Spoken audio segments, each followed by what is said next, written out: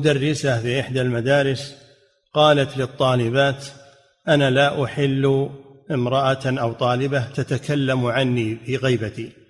هذه الطالبة تقول تكلمت عليها في غيبتها ثم ذهبت إليها طالبة المسامحة فرفضت ذلك. سؤالها ماذا أصنع فأنا نادمة وخائفة؟